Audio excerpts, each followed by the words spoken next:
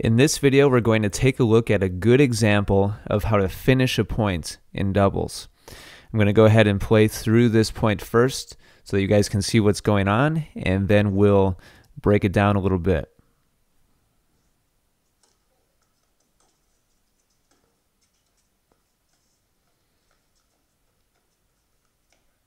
All right, let's go ahead and break this down. Now, first of all, I like the use of the I formation here, and this is something that I can do separate videos on in the future, but I, I really like this use uh, of the form, different formations and doubles to start off the point. I think it's something that amateur players don't do enough of. They don't give their opponents different looks and make them have to change up what they're doing. So I think that's a good start to this point. Now, as we continue on, we see that the server and his partner just go back go back to a standard formation here with the returner covering the alley down the line. The serve was good, and so the server had a nice chance at an easy volley. And he's a little bit far back here. He's he's at the service line, a little bit behind the service line when he makes contact. And so I think this makes it a little bit tough for most people to attack, but he does a nice job not overdoing this volley. Look at how he takes his racket back, lines the racket up with his target, and just makes contact out in front of him. He doesn't overdo it.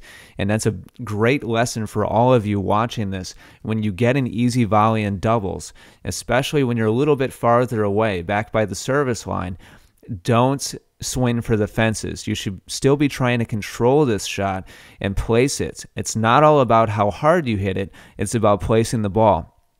And the server here did a great job keeping the ball low.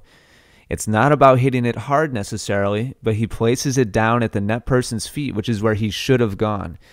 And a lot of amateur players, let me back this up a little bit. A lot of amateur players would make the mistake of taking this shot and going somewhere else with it. Now, if he didn't feel that he could attack consistently uh, without making a lot of mistakes, then the easy play would just be to take this back cross court towards the returner, keep it deep, and keep that returner pushed back behind the baseline so that he and his partner could really take over this point as as they have. They've done a good job both moving forwards towards the net together. So that would be the easy play. Uh, if you're going to attack on this, again, I, think the best play possible would be to keep it low towards the net person. Uh, so those are his two main options, and he chose to play it straight ahead at the net player, does a perfect job of putting it down towards this person's feet. And now, even if he does make it, this net player on the returner side really doesn't have much choice about popping it up. He's got to open the face up to make this shot. Now, here we have another high volley by the server. And again, he's got two main options. Two main options. He could play it back towards the returner, cross court, or go back towards the net player again. And this is where I, I, see a big breakdown in tactics very often by club level players is they'll attack on the first volley and the net player gets it back, maybe even just barely. they play back a weak volley or half volley. And then I often see the attacker kind of give up and, and be like, oh, well, he got that back, and then hit it back towards the deep person, back to the returner. And that's a mistake because it lets the pressure off of the, off of the net player. And so the, the right tactical play here is to go right back at that net player again. As long as you are in control of the point, pick the person closest to you and continue to attack and continue to uh, continue to pressure them. Don't let them off the hook by going back to the, the baseline player. And the server does this, goes right back at him again, and actually uses the, the space after knocking this person back with that shot down at the feet, uses, uses the space between that net player and the net by angling the ball off the court.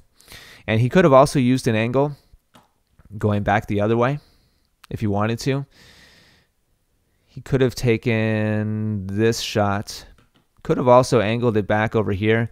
Um, that's a that's a much tougher shot with with that high backhand volley. It would definitely be possible. He would just have to angle his body a little bit more, and that would have worked as well. But I don't like that play as much because we have the baseline player back here, and so if the angle isn't pretty good, that baseline player is going to track it down.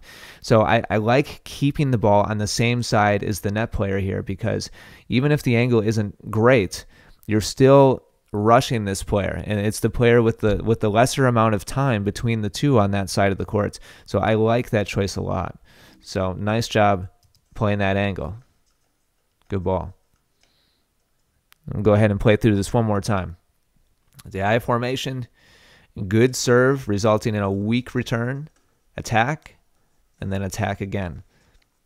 And so use this tactic in your doubles play, guys. Find the person who's closest to you when you have an easy volley. Pressure them. If they get it back, pressure them right back again. Don't let them off the hook.